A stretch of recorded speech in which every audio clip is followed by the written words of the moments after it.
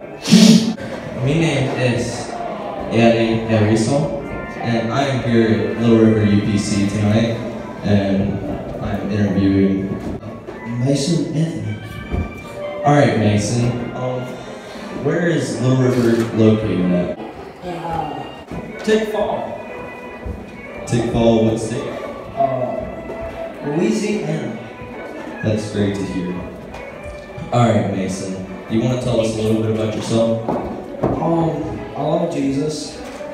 Uh, um, I like to fish. Yeah. Yeah. All right. Yeah. What would you rate your service tonight at Little?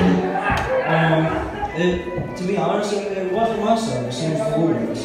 And uh, I, I rate that one million times uh. I really like that. This is Ario Rizzo, and we're signing out at Little River UPC.